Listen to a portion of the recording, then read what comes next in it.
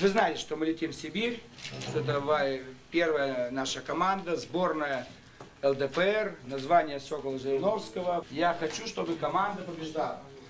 И надеюсь победит, потому что Ростов, Россия, Юг, сильные, крепкие русские ребята. Всем нахер ноги переломать там в Сургуте, в Омске, в Абакане.